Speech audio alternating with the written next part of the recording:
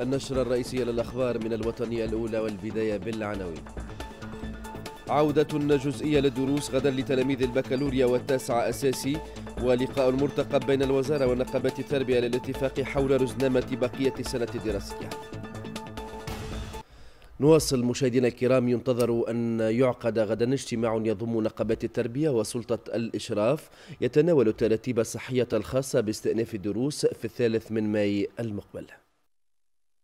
بداية من الغد بإمكان الأساتذة الراغبين في إنهاء أو التعمق في بعض المسائل والمحاور الخاصة بالامتحانات الوطنية تأمين دروس لفائدة تلاميذهم في أقسام البكالوريا والتاسعة أساسي.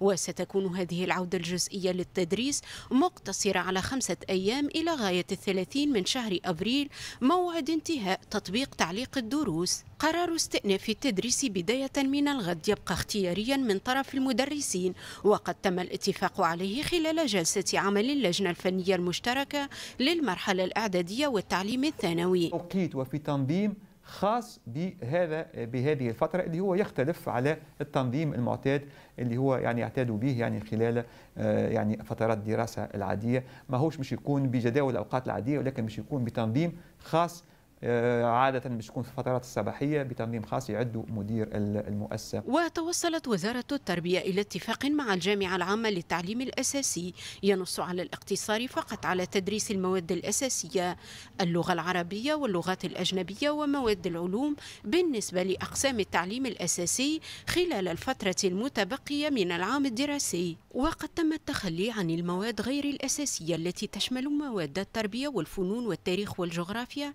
في مسعى لتمكين المدرسين من استغلال الزمن المدرسي لإنهاء ما تبقى من تعلمات. وبالنسبة للامتحانات فسيتم تأخير إنجاز الاختبارات الكتابية والشفاهية بأسبوع مقارنة مع الرزنامات السابقة. كما تقرر الإبقاء على نفس موعد تاريخ بداية العطلة الصيفية في الثلاثين من شهر جوان المقبل. وبالنسبة لامتحانات البكالوريا فقد تم الاتفاق خلال جلسة عمل اللجنة الفنية المشتركة للمرحلة الإعدادية والتعليم الثانوي على إلغاء الامتحانات التطبيقية للبكالوريا باستثناء مادة الإعلامية في شعبة الإعلامية على غرار السنة الفارطة.